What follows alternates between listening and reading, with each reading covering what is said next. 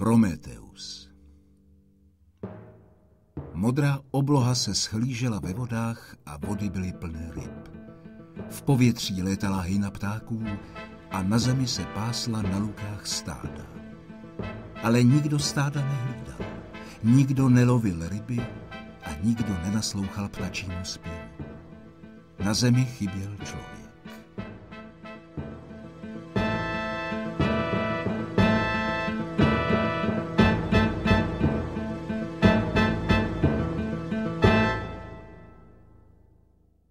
Smutně bloudil po zemi Prometeus, potomek božského rodu titánů, a marně hledal živé bytosti, které by chodily vzpřímeně jako on a které by se mu podobaly tváří. Viděl však hlínu dávající život trávě, rostlinám a stromům a spatřil husté deště snášející se na zem. Dešťová voda udržovala v přírodě život a tam, kde nepršelo, umírali stromy i keře a narůstala poušť. Když Prometeus poznal sílu země a vody, smísil hlínu s dešťovou vodou a vytvořil sochu prvního člověka. Podobala se bohům. Palas Aténa, bohyně jasného rozumu a moudrosti, vdechla neživé soše ducha a šedivá hlína zrůžověla. Začalo v ní bušit srdce a doposud nehybné nohy a paže učinili první pohyby. Tak poslal Prometeus na svět člověka. Dlouho lidé nevěděli, jak užívat ducha. Daru Palas Atény. Žili jako malé děti. Viděli, ale nepoznávali. Slyšeli, ale nerozuměli. Chodili po zemi jako ve snu. Nedovedli pálit cihly, ani přitesávat trámy, ani stavět domy. Jako mravenci se hemželi po zemi i pod zemí v temných koutech slují.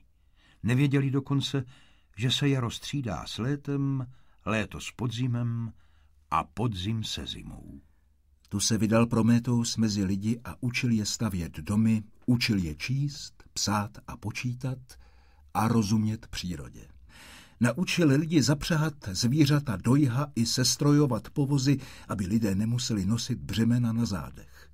Ukázal jim, jak se stavějí lodě a jak plachty ulehčí veslařům práci. Vedli je do hlubin země za skrytými poklady. Měď, železo, stříbro i zlato začali opouštět podpilnýma rukama horníků podzemní ložiska. Dříve lidé neznali léku. Nevěděli, co jim prospívá a co škodí. Prometeus jim poradil, jak mísit hojivé masti a uzdravující léky odhalil úžaslým lidem všechna umění a lidé se horlivě všemu učili. Bohové schromáždění nahoře bohu na Olympu pozorovali nedůvěřivě pokolení lidí na zemi, které se naučilo od Prométea práci, vědám i umění. Zvláště vládce všech bohů Zeus se mračil den ode dne víc a víc. Zavolal si Prométea a řekl mu. Naučil si lidi pracovat a myslit ale nenaučil si je ještě dobře, jak mají ctít bohy a jak jim obětovat, jak se jim klanět. Víš přece, že na bozích záleží, bude-li rok úrodný nebo chudý, navštíví-li zemi mor nebo blahobyt. Bohové vládnou nad osudy lidí. I já sám vrhám své blesky, kam se mi zachce. Jdi k lidem a řekni jim, aby nám obětovali nebo je stihne náš hněv. Lidé budou přinášet bohům oběti, odpověděl Prometeus. Ale ty, die si přijď vybrat, co mají obětovat. A Prometeus zabil býka, maso ukryl do bíčí kůže a navrch položil žaludek. Na druhou hromadu dal kosti, ale obalil je tukem tak, že je nebylo vidět. Hromada kostí obalených tukem byla větší, a zdála se i lepší. Sotva Prometeus všechno připravil, ucítil Zeus příjemnou vůni chystané oběti a sestoupil z nebes na zem k Prometeovi. Prometeus spatřil Dia a zvolal. Bohové, vyberte si, který díl je vám milejší. Co vládce bohů vybereš, to budou smrtelní lidé obětovat. Zeus poznal, že ho chce Prometeus oklamat nedal však na jeho hněv a na schvál vyvolil hromadu lesknoucí se tukem. Prometeus přistoupil s úsměvem k hromadě a odhrnul tuk. Objevily se holé kosti. Když odkryl bíčí kůži, zavonilo čerstvé maso. Od těch dob obětovali lidé bohům tuk a kost, maso si ponechávali pro sebe. Zeus nenechal smělý Prometeův čin bez trestu. Rozhodl se, že lidem vezme oheň. Připadla jim lepší část, maso, ať je tedy jedí syrové. Vládce bohu poručil i hned mračnům, aby lijákem uhasila všechna ohniště. Divoký vítr rozmetal horký popel a odnesl jej do moře. Tak ztratili lidé oheň, který potřebovali nutně k životu a práci. Nemohli péci chléb ani vařit. Kovárny spustly a dílny osiřely. Za chladných dnů a mrazivých nocí nebylo kde se ohřát. Prometus viděl neštěstí seslané na lidi, cítil s nimi a neopustil je. Věděl, že v dějově paláci plápolá dnem i nocí jasný oheň.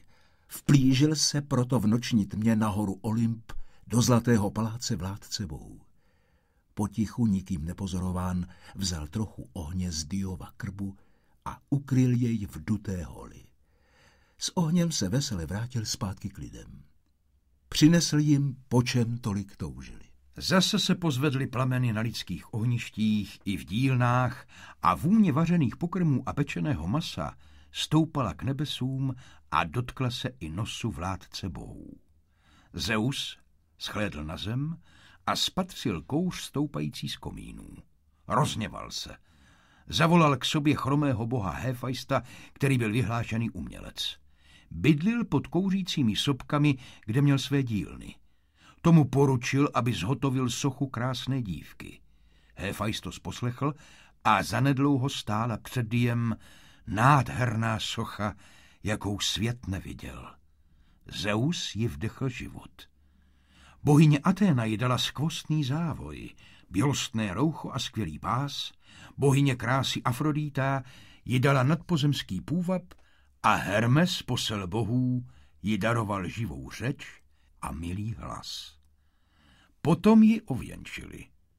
Zeus ji vložil do rukou zlatou schránku a nazval dívku Pandorou, vším obdařenou. Hermes odvedl Pandoru na zem k Prometeovu bratru Epimeteovi.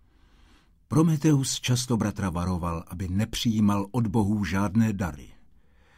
Ale Epimeteus při pohledu na krásnou Pandoru zapomněl na jeho varování a na všechny rady.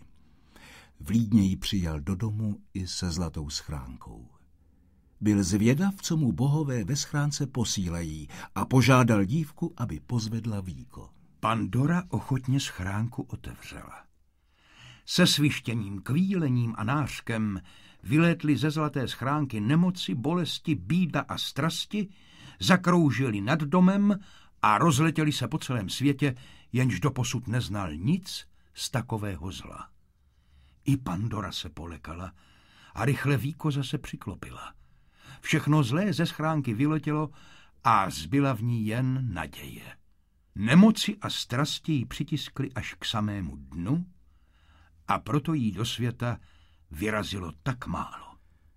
Nemoci a bída začaly obcházet lidská obydlí a v patách za nimi přicházela smrt. Bolest a těžké myšlenky budily lidi ze spánku a zlé sny jim tížily hruď. Jen naděje. Jenom naděje bylo mezi lidmi málo. Zůstala téměř celá uzamčena v pandořině schránce. Diův hněv se snesl i na Prométea. Vládce bohu vyslal Hefajsta s pomocníky, aby přikovali odbojného Prométea nejtěžšími a nejpevnějšími řetězy k vysoké skále v pohoří Kavkazu. Jen nerad poslechl Hefajstos rozkazu vládce bohů a přikoval Prométea ke skále tak těsně, že se nemohl ani pohnout. Vysoko nad propastí, v které pluli cáry mlh, vysel Prometeus mezi nebem a zemí, ale nepokořil se. Neprosil Dia o milost. Když Zeus viděl, že Prometeus neprosí o milost a že hrdě nese svůj osud, vyslal za Prométem na Kavkaz obrovského orla. Orel přilétal každého dne k upoutanému Prométeovi, trhal mu ostrým zobanem játra z těla a živil se jimi. V noci játra Prométovi znovu narůstala a Orel měl ráno připravenou novou potravu. Takovému trápení odsoudil Zeus Prométea na věky. Uplynulo mnoho let, ale Prométeus se nepodrobil. Po staletích, která Prométeus prožil v mukách a osamění, spatřil hrdinu připoutaného ke kavkazské skále Herakles, syn Dia vládce bohů. Ubíral se tudy na cestě za zlatými jablky Hesperidek. Právě přiletal orel, aby se nasytil. Herakles odložil kej, napěl luk, zamířil a jedinou ranou zabil zlého dravce. Potom rozdrtil Prométovi okovy a daroval mu svobodu. Aby však byl Zeus usmířen a splnila se jeho kledba, musil Prométeus nosit železný prsten, v němž byl zachycen kousek kamene kavkazské skály. Tak k ní byl Prométeus na věky připoután, jak Zeus určil. A od těch dob nosí lidé prsteny s kamenem na památku Prométeova činu. Nosí je dodnes, i když už dávno zapomněli na Prométea, který v neštěstí stál věrně při lidech.